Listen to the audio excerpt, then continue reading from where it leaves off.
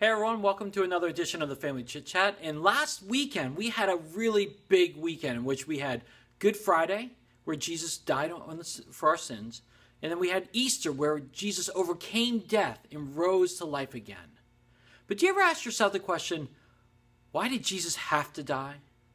That's a great question. I hope you have asked that. And I hope over the past weekend you've discussed that with your friends and family. But why did Jesus have to die? Well, if you don't know, let me tell you the story real quick years and years and years and years, millions of years ago, when God created the heavens and the earth and he created man and woman, Adam and Eve, God had a great relationship with them and everything was perfect. In fact, it said everything was very good in God's eyes.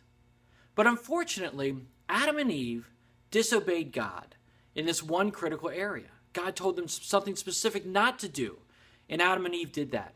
And when they did, they, they introduced into the world a thing called sin. Sin entered the world, nothing was perfect anymore. That includes you and I, that we were born into this world where sin rules and that nothing is perfect anymore. Well, that wasn't acceptable to God. And God, that broke his heart that he did not have a good relationship with Adam and Eve anymore or any of the following descendants. So God sent his son Jesus to rectify that. And what I want you to do right now is I want you to take a few minutes to see how Jesus rectified that, how Jesus brought that relationship between humans and God together again. So take a few minutes, pause the video, discuss the questions, and when you're ready to continue, press play, and we'll go from there.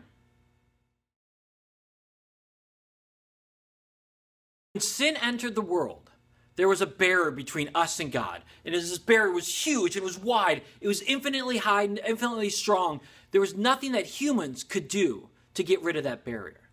But there was something that God could do.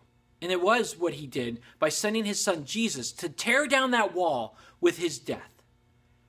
So it really goes to show that God cared for us. He cared for us so much. As John 3:16 says, "For God so loved the world that he sent Jesus to die for our sins." It really proves how much God cared for us.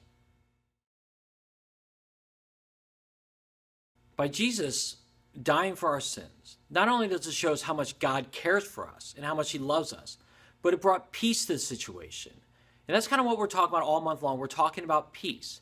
And God brought peace between humans and Himself with Jesus' death. That that sin wall is no longer a barrier between us having a relationship with God again.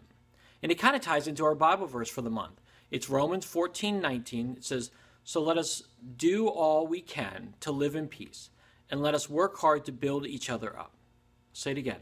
So let us do all we can to live in peace, and let us work hard to build each other up.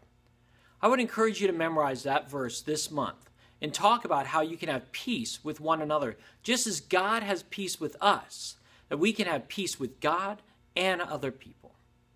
All right, that's it for today. I hope you guys have peace this week, and I'll see you next time.